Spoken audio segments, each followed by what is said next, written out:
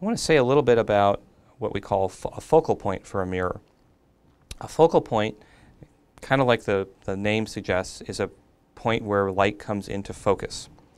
Focal points exist for curved mirrors, and if I have a concave mirror like this one,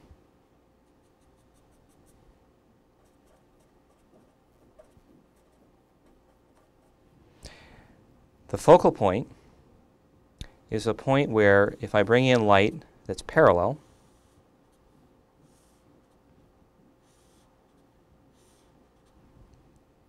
all the light, because of the law of reflection, comes reflects back to a common location.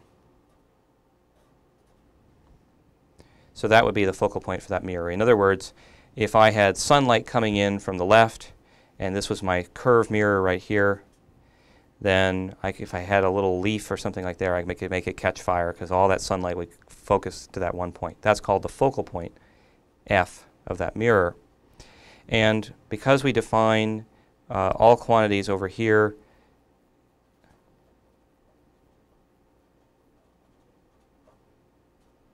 this being the real side of the mirror. And over here, quantities are all negative. In other words, this is the so-called V side of the mirror. This focal length will be positive.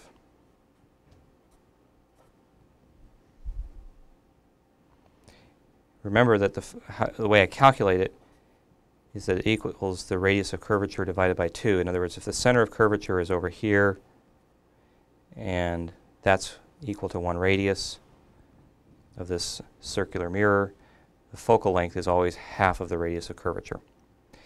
As a result, r is also a, po a positive number.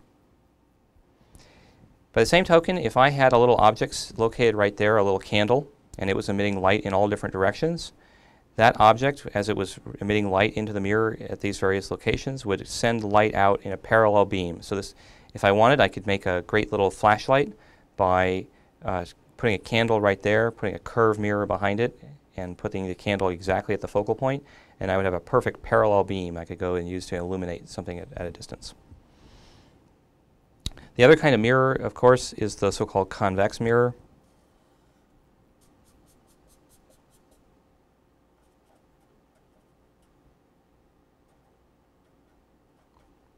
Over here is the so-called V side.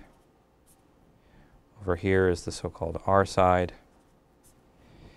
And in this case, the center of curvature is back over there. And so this might be one radius of curvature. And the focal length will be right there. So f is always equal to r over 2. This will be a negative number because the center of curvature is on the, the v side that means the radius of curvature will be a negative number, and as a result, the focal length will be a, a negative number.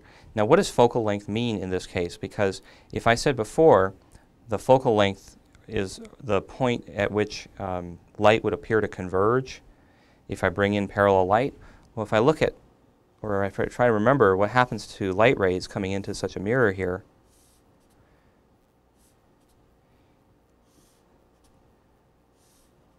they're all reflecting off.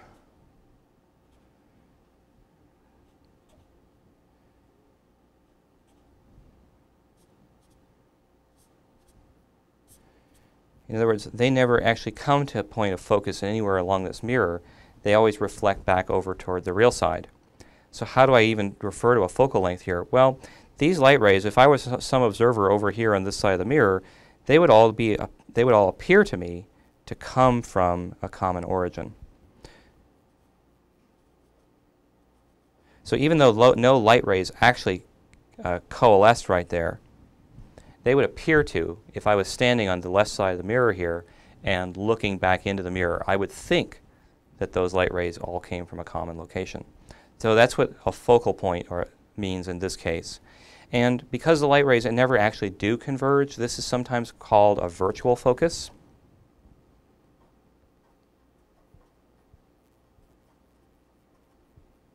Whereas this is called a real focus. In this case, light rays actually do come together, and I could burn a leaf if I put it this, this mirror in the sun, whereas in the convex mirror, although I might uh, form an image of the sun, the, the energy of, from the light rays from the sun would never, never, ever converge at a single point. It's a virtual focus.